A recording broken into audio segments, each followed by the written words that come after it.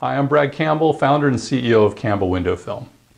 When I was a boy growing up in North Carolina, my father was a sales representative for a large furniture company. When I was about 12 years old, he decided I was old enough to learn the ropes, so he took me out on the road with him one summer. And on that trip, we talked a lot about business philosophy. And he said a lot of things, but the one thing that really stuck with me most was this. He said, son, if you want to understand why your customer buys, you have to see it through your customer's eyes. I know that sounds a little corny, but fast forward a few years and I've moved to California. I'm 19, I'm a struggling young entrepreneur. I was installing window film for other companies as a subcontractor. I noticed that the customer service was really low in the industry. So I decided I was going to build my own company. And the core philosophy behind the company was going to be around customer service.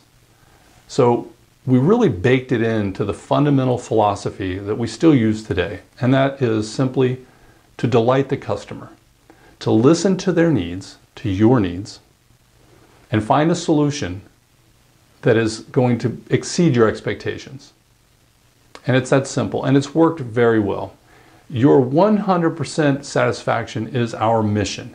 Our job is not complete until you are 100% satisfied. I guarantee it. Thanks for listening.